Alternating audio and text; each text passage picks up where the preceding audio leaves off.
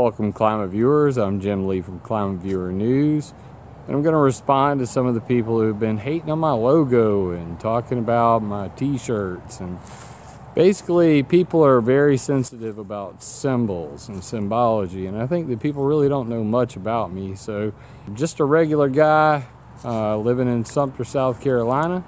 As you can see, we have beautiful blue skies today here. I know you're jealous, lots of trees. Um, this is my backyard. Uh, this is my home. As you can see, I'm not living in some mansion funded by the government.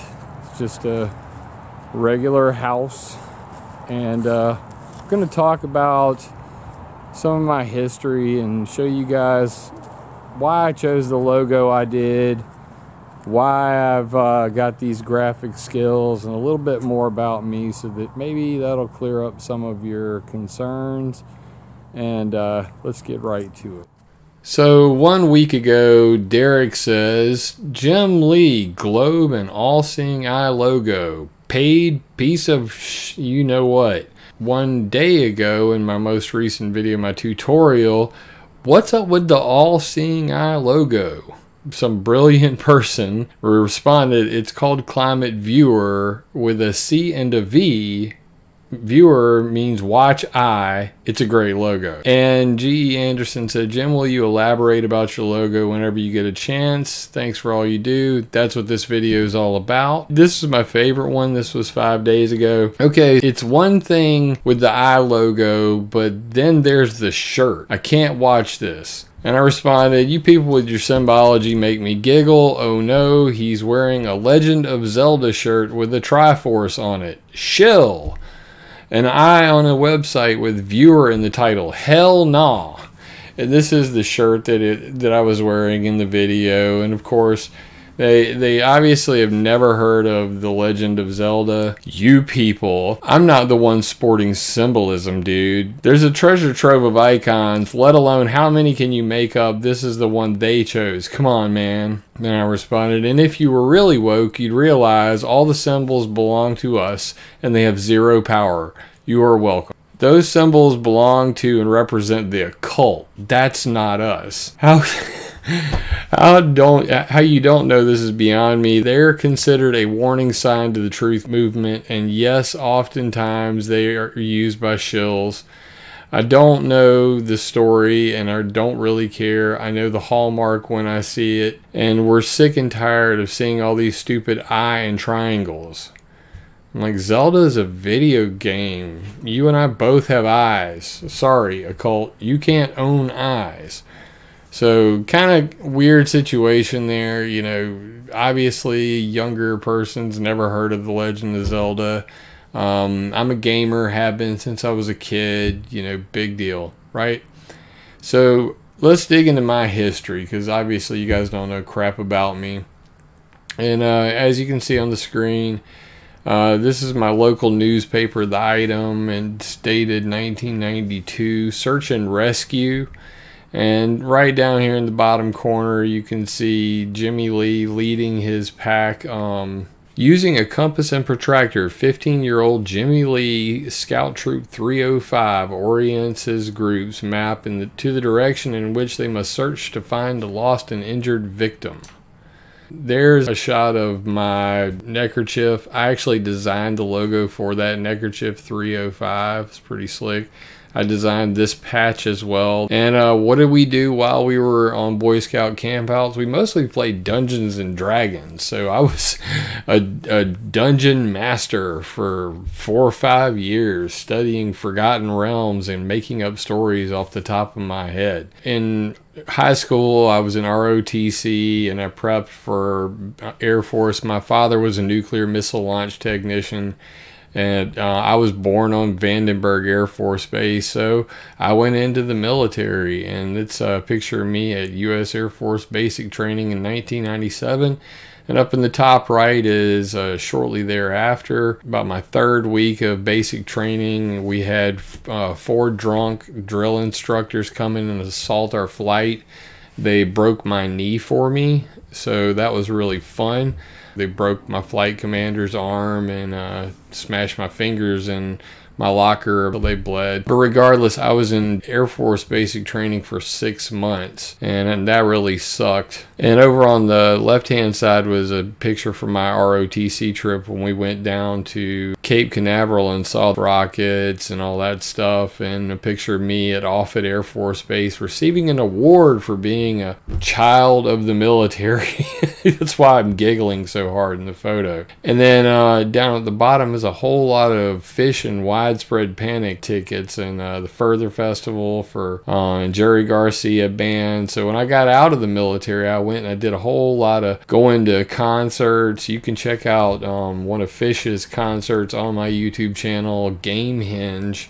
It's one of the most famous concerts they did. I did this graphic for it. Back in 1999, I got a job at a company called Positron in Omaha, Nebraska. It's the same place where Offutt Air Force Base is. And I was using 3D software called TrueV. And what it did was it allowed you to take a round object and flatten it out shout out to the flat earthers who can't understand how round objects work. And you can see that our software was featured in Digital Content Creator magazine.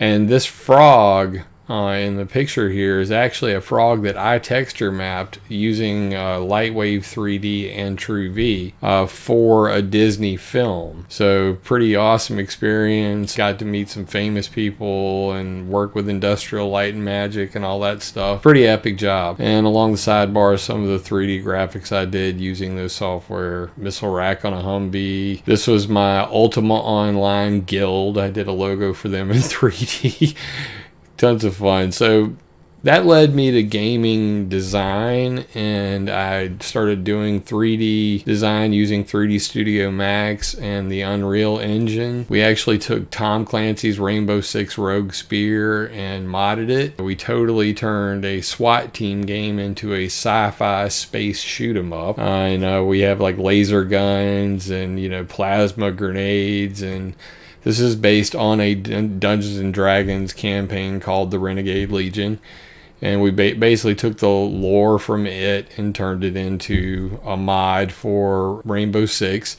It was so popular that the people at Red Storm Entertainment that made the game emailed me and said that yours is the number one mod we play in house and they offered me a job as a map designer. You know, I looked into the whole thing and this is fun for me, but I don't think I want to pursue it as a a career. And over on the side, I also learned the Unreal engine. So I use the Unreal editor to make a map. You can see it right there. It's kind of like a a Colosseum, a Roman Colosseum meets um, ancient Egypt, which brings me to my activism and the logo thing. So my first logos and and my activism started on resonated.net and resonated.com. Nobody knew me from a hole in the wall. I didn't tell anybody my name.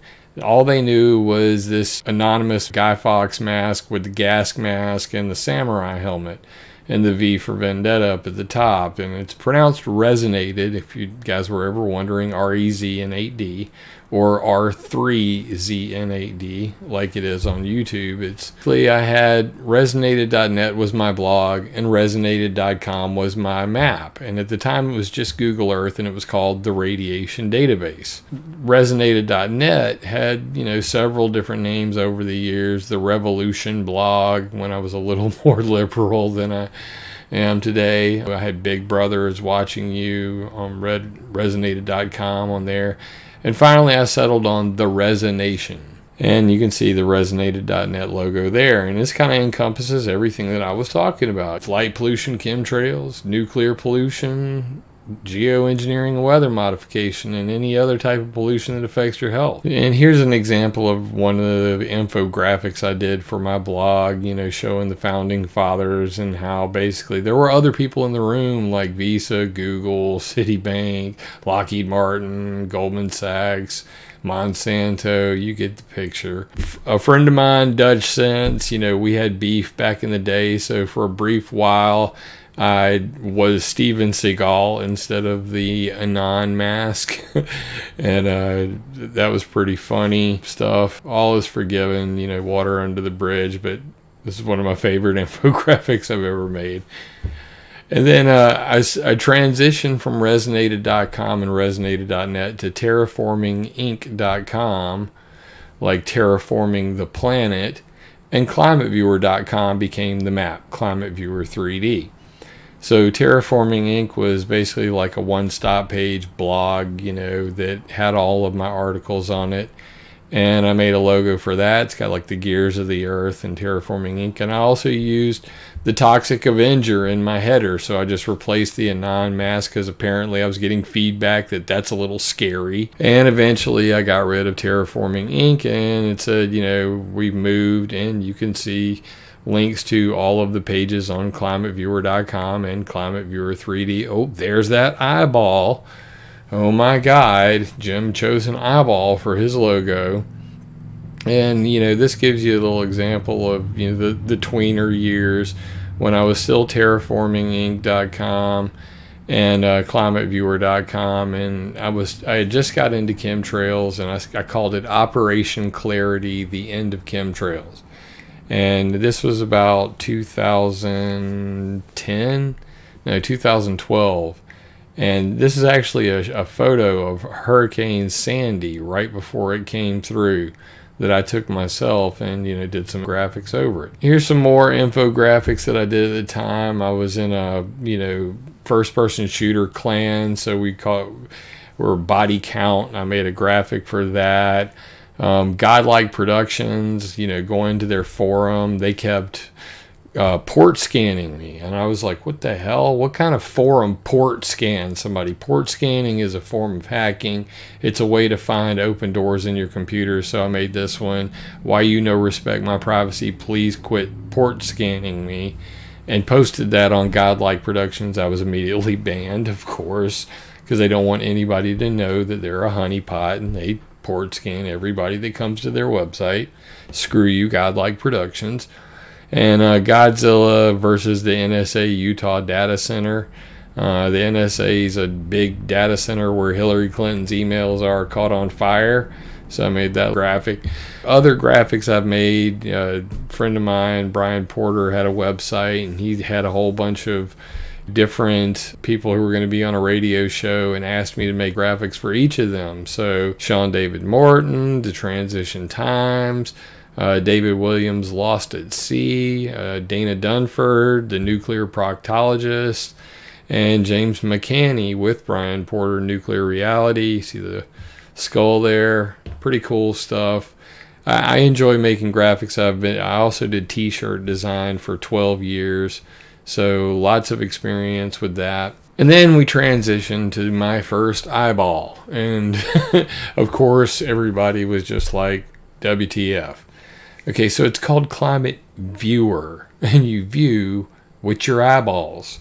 So it kind of seemed like a no brainer that I'm viewing the climate in the whole world, so why not have an eye with the world in it? And this was my first two logos. I, I switched my map over to climateviewer.org. Climateviewer.com became my blog. And uh, we even did a little CV radio back when I had other writers on climateviewer.com before all the copyright uh, lawsuits started to fly. And then that's where this little guy, the Lorax, creeped in. And, you know, things started to get really weird there for a while. And I used to end every single video I would do with the saying from the Lorax unless someone like you cares a whole awful lot, nothing's going to get better. It's not. And then I was informed by a copyright lawyer that I could get sued just for saying that and using um, Lorax imagery. So I had to get rid of all that stuff from climateviewer.com. Still hate that, but still, I speak for the trees. And that brings us to the current logo for Climate Viewer News.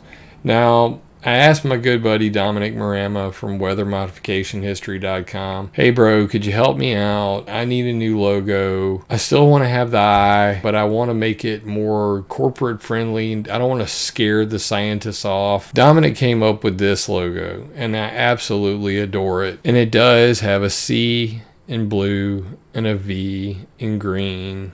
It's still an eyeball Climate Viewer, tracking the climate changers, and Climate Viewer 3D, I changed that to match. So that's my logo, and I'm sticking to it.